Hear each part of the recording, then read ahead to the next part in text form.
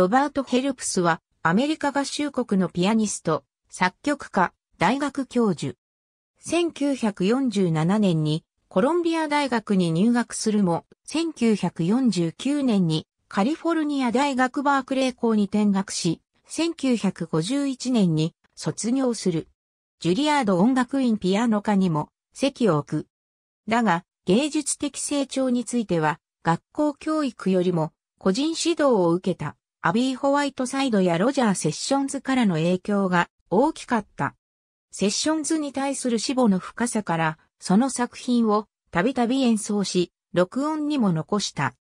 1950年代に作曲家として注目を集め、弦楽四重奏曲や最初の交響曲を手掛けている。後者は指揮者、レオポルド・ストコフスキーによって初演された。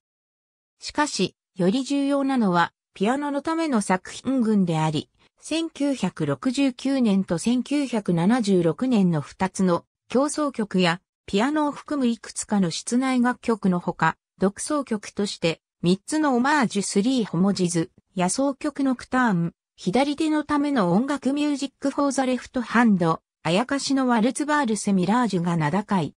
1994年のシャルウィー、ダンスシャルウィーダンスはナクソスレーベルに自作自演を残した。母校のカリフォルニア大学バークレー校を皮切りに、スタンフォード大学やニューイングランド音楽院、プリンストン大学で教壇に立った。1980年に南フロリダ大学短波校に迎えられ、亡くなった時には鍵盤楽器学科の主任教授を務めていた。作曲家としては、静かな叙情と激しい緊張、調整と無調が交錯する独特な作風で知られる。